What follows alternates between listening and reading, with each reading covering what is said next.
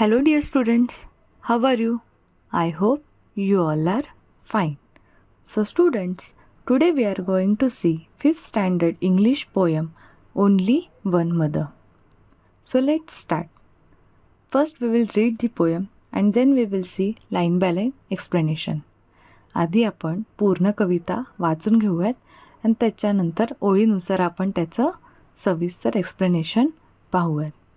चला तर मग सुरू करू. ओनली वन मदर म्हणजेच आई ही एकच असते. ह्या पोयमचं थीम असं आहे ओनली वन मदर म्हणजे आई ही एकच असते.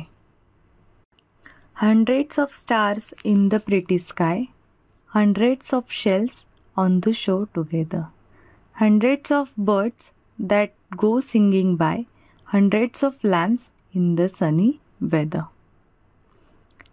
hundreds of dewdrops to greet the dawn, hundreds of bees in the purple clover, hundreds of butterflies on the lawn, but only one mother, the the wide world over. So students कवितेच्या ओळी तर आपण वाचल्या आहेत त्यानंतर आपण प्रत्येक ओळीचं एक्सप्लेनेशन पाहूयात hundreds of star in the pretty sky म्हणजेच आकाशामध्ये शेकडो तारे असतात. जसं की तुम्ही ह्या फोटोमध्ये बघत आहात.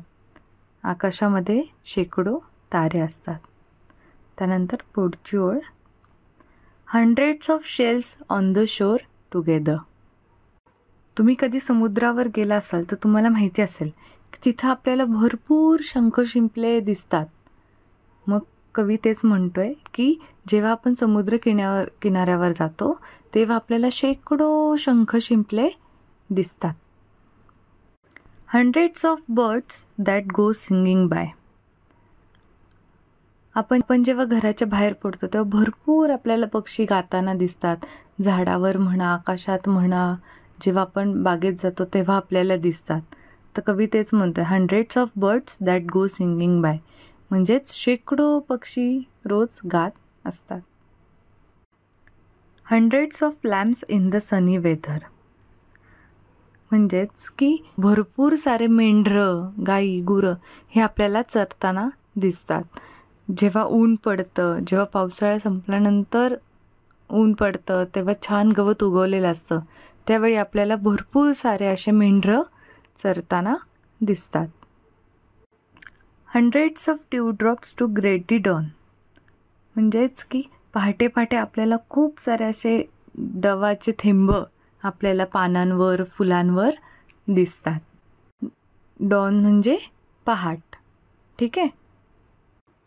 Hundreds of bees in the purple clover म्हणजेच पर्पल क्लोवर म्हणजे एक प्रकारचं एक फूल आहे. ठीक आहे? त्याच्यावर भरपूर सारे असे मधमाशा त्यातलं मध घ्यायला येतात. मग कवी तेच म्हणतो की त्या फुलाच्या अवतीभोवती आपल्याला खूप साऱ्या शेकडोच्या सं संख्याने आपल्याला मधमाशा दिसतात.